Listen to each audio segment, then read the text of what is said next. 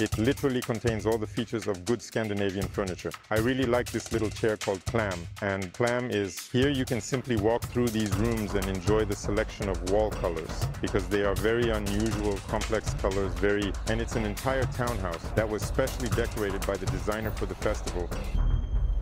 And now we have moved, probably to the most distant location from the center of the festival Three Days of Design, which is called Refshaleøen if I am pronouncing it correctly in Danish. If you speak Danish, you can give a double like. So, here in the former industrial area, a creative cluster has been organized. There has been a certain transformation, and there are a couple of interesting locations here. In particular, I am currently in some kind of garden park where IKEA is hosting pop-up events, and when we talk about Scandinavian design, it is impossible not to mention it. Here, right in this little garden, right in this mini park, various items from the collection of this famous Swedish manufacturer are installed, and all of it is in white. It all looks very much like an installation. In addition to the park, there is also this large glamping tent, all in white. You can lounge around there, and, in principle, you can also lounge outside, or sit down.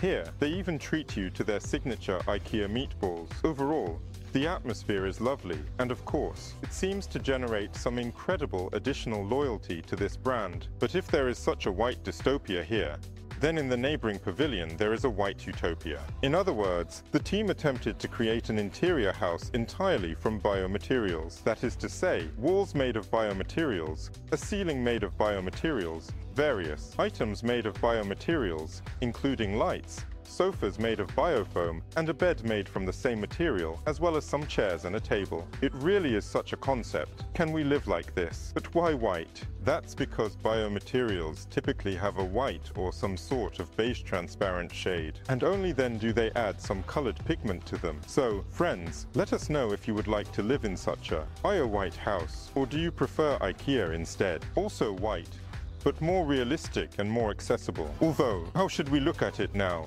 While we move on to the next point, it is worth mentioning once again the famous project of the Waste-to-Energy ski resort.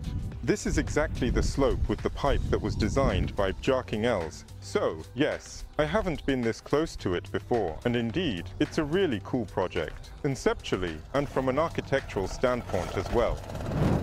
Here we have the most hip exhibition, because the ambience is just like that, because there are some yurts, a little garden, absolutely some happy people, people like flowers, and in one of the yurts, some items are presented. For me, there is always this dilemma about what separates modern design from just junk. I'll say it carefully, there are some items made from mycelium, and even some flip-flops made from recycled pits from various things, olives, nuts, and so on, some small bowls, dishes. Well, it all seems quite, I don't know, maybe it's because it's presented in such a voluminous way. It's quite grim, in my opinion. And here, everything is quite hip.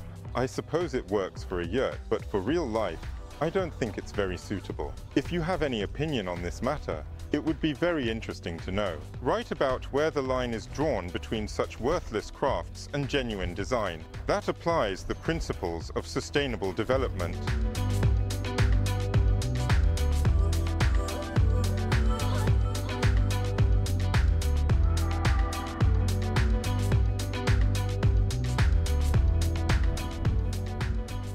And this has an ambience reminiscent of a cable port. In general, an industrial space, some kind of workshop, has been transformed into an exhibition. I must say, it looks quite good.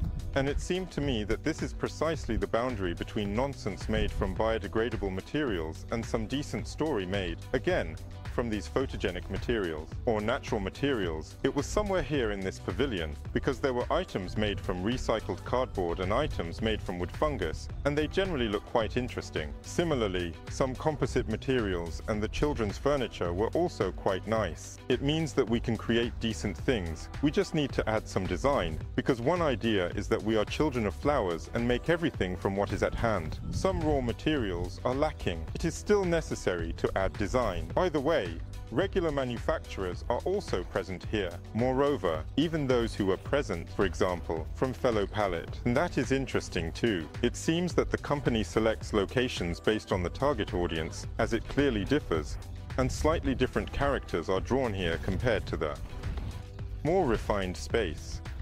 By the way, these little houses are an excellent location for showcasing student work. In these two small cottages, the work of the furniture design department of Aalto University is showcased. That is, accordingly, of Helsinki University. And in this context, it looks fine. And, by the way, I think that all these fakes about the young are just right for such small houses. They are quite a decent solution for a summer house. But as for the University of Aalto and the designers they are training, we discussed this in quite detail while attending Helsinki Design Week. That was quite some time ago. Nevertheless, if you're interested, take a look, because the building is interesting and beautiful, as well as the interiors.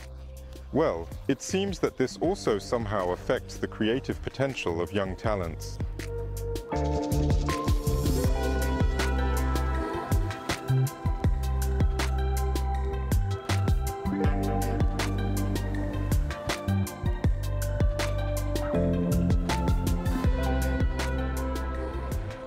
Of course, another icon of lighting design in Denmark could not be missed. This is the showroom of the company Astep, whose range is largely associated with designer Gino Sarfatti. And so, for this show, they prepared another new release of the Model 262. And they did this not just by saying, look at this little light fixture designed by Gino Sarfatti. Of course, it is a modern light fixture. In addition to that, this is a light fixture presented in such a lighting installation by a contemporary designer that, overall, it looks quite impressive and convincing. The lamp itself is very interesting in its architecture. One might even say, Another new product is the Surpresa lighting fixtures. This frame, covered with fabric, also looks maximally Scandinavian. The designer is Samuel Wilkinson. As for the rest, of course, it's all classic. And again, classic from Gino Sarfatti. The floor lamps are very slender and elegant. Model 1095, Model 2065 is such a delight.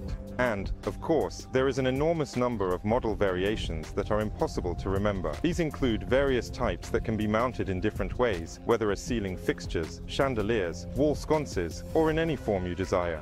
By the way, there can also be white and transparent spheres, which adds to the variety. This is the so-called tribute collection from the modern range, specifically from the Evolution collection, where attention should be paid to the small portable lamps. This is Nox, a slightly inflated balloon with a handle and a cute wooden pepper O. I almost forgot, from the classics.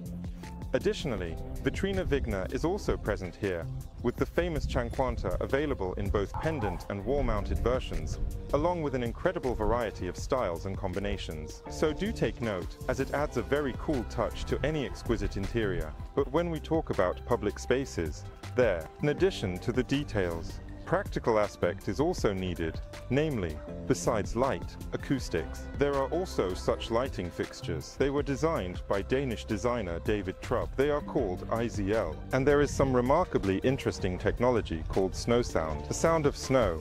I don't know. Maybe it creaks or something. These lighting fixtures absorb excess sound and, accordingly, create acoustic comfort in workspaces or other public areas. Maybe it would also fit in the children's room, by the way. Well, we need to make an effort to integrate it, and it will work. Let's add some classics of Danish design, with character, so to speak. And of course, this includes the classics of Danish design. These are models from the 1960s and 1970s. The sofa is really cool. The armchair which is called Director, naturally goes with the director's desk. Unlike the console, it has something quite Eastern about it, I suppose.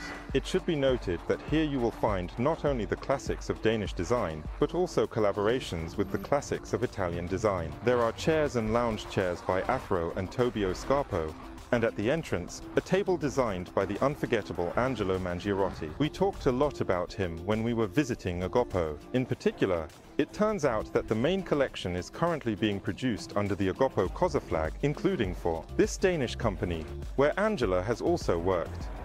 As we move along Bredgade Street, here are a couple of practical tips. If you attend the three days of design in Copenhagen next year, firstly, Take note that they have an app where all participants and exhibitions are listed, organized by districts, which is quite convenient. If you prepare, you will save a lot of time and have a great deal of fun. I would probably recommend starting on this street, as it has the highest concentration of everything. Firstly, this is where the Orfolo Pali is located. Finger right behind the marble church is this building of Friedrich Skabe. Here is the Design Museum. We were there last year. If you're interested, do take a look as well. And here, galleries come one after another. In other words, you can simply move from door to door, entering any of them and enjoying yourself. There are constantly new locations, opening up for me, at least, because there's this mansion with open doors, music playing, inviting you in, and there's a kind of magic both in terms of the interiors and the objects. All of this together, the items and the context, certainly creates a complete sense of immersion in Danish design. Moreover, it is not just Danish, but in a broader sense, Nordic design.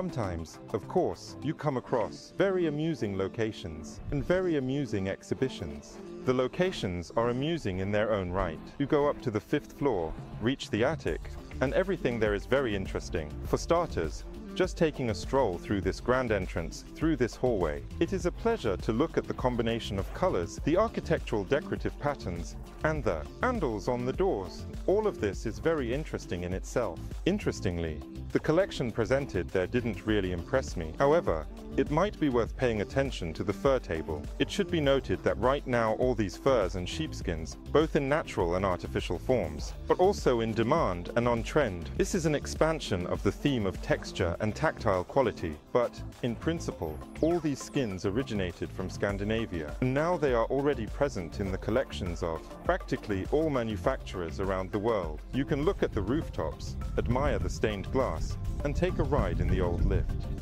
This also deserves attention and is a separate pleasure, despite the fact that, well, as I said, the items did not impress me much.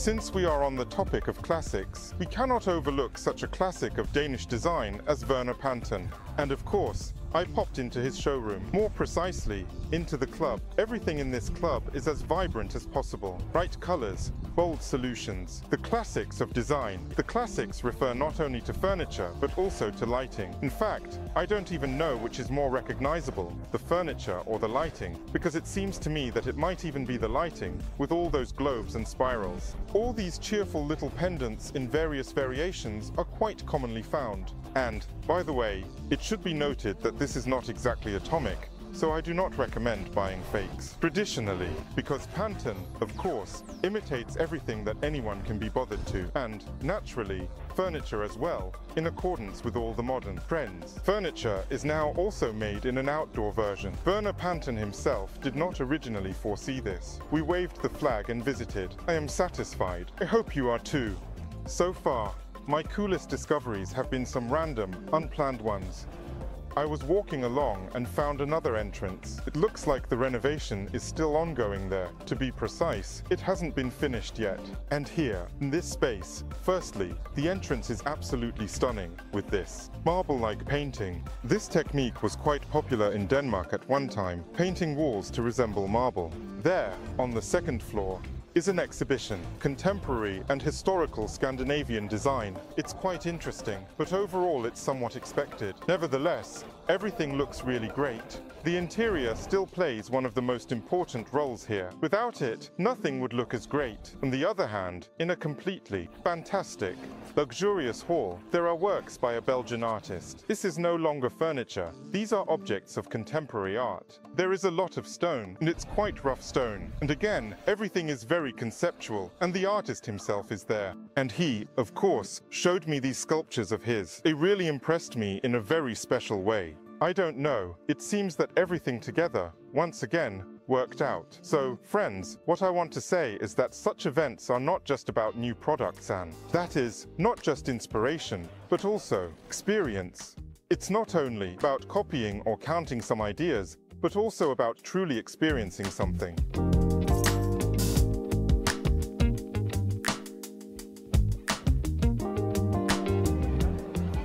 I love such conceptual projects where the showroom transforms and everything follows a particular narrative. Three floors of curated Danish design are divided into various elements from which one can assemble that very design. Primarily interior design. It all begins with scenography. Scenography in the broadest sense of the word. This includes, in fact, the artistic arrangement, as well as some podiums and curtains that can also divide, zone, and create a certain mood in the space. The element of metallics. We've already talked a bit about metallics. I'm not really convinced by this idea, but in principle, it could be an impressive solution for some public spaces, like a lobby or a nice office reception. It's a very interesting story. We've encountered it before. This is an element of color, but it's not color in the literal sense. Like this little green sofa or that terracotta sofa. Specifically the color of light. All the furniture there is white, and it shows how the interior changes depending on the tone of the light, altering the mood. I'm not very sure that light music is really a necessary scenography within the context of a living interior. But if we talk about the color temperature of light from warm to cool, then, of course, the interior changes significantly. This is something to keep in mind and pay attention to. But again, what kind of public space could it be? It very well might be. By the way, a very similar idea was showcased in the very first mansion, this one, in Friedrichsgate. There was a digital mood board created by Sony who could also play around with the tone of the interior. It seems to me that the ideas here somewhat intersect. So, another element of a good interior is its social function, meaning it is a place for gatherings, an element referred to as togetherness, which signifies being together. I don't know, I can't come up with a word that could be derived from the word together. I mean, we are simply together, we have gathered around the table, and we are having a wonderful time. The social role of any interior is quite significant, probably the most important. Next, we ascend to the top floor. There we have an element of nature. Again, a conversation with visitors about how we can use natural materials to create new interior items. In particular, what is shown is no longer a prototype, but generally speaking, a serial sample of chairs, the seat of which is made from what? From hemp. So, friends, you can not only have fun with hemp, but also make quite useful and, most importantly, very environmentally conscious things. Next, we have a wooden element. As for wood, everything is clear here too. It is in the DNA of Scandinavian culture to use wood for furniture production in the interior. Wood is everywhere, on the floor, absolutely everywhere. And of course, Scandinavian furniture without wood is unthinkable. This is an utterly impossible story. I can hardly imagine it. But again, it is the most eco-friendly material. We talked about how wood is the most reliable parking for carbon dioxide. And lastly, there is the element of innovation, which means the element of transforming what has already been created into something new and, perhaps, more beautiful. This is what is known as circular design. We have all heard of the circular economy. Accordingly, design plays a very important role in the realization of this concept.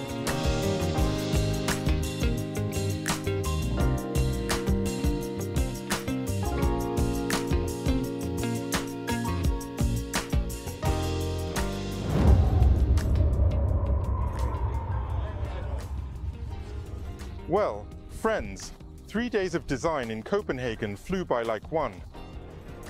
For you, it was overall, I think, significantly quicker. Nevertheless, I hope you enjoyed the locations we visited together. By the way, I also managed to visit another place. It's called Social House. There, mainly Swedish manufacturers are represented, and I must say, they are quite good. And interestingly, in Swedish the word stola also sounds like stola. This is important information there. Was one very interesting little armchair that I liked. So, this is an armchair with ears, but these ears can be detached, allowing it to be turned into a regular armchair quite a good idea. In fact, there turned out to be a lot of ideas here, so make sure to give it a like. It's important. I'm not asking for any donations, but as you can understand, traveling is not the cheapest pleasure at the moment. Please write something nice. If you really want to fully support our channel, then please share this video with your friends. Of course, it will be useful for them too. Don't forget to subscribe to the Telegram channel. There, on a daily basis, we publish various interesting projects, as well as our notes on the subject. Well, of course, there are announcements.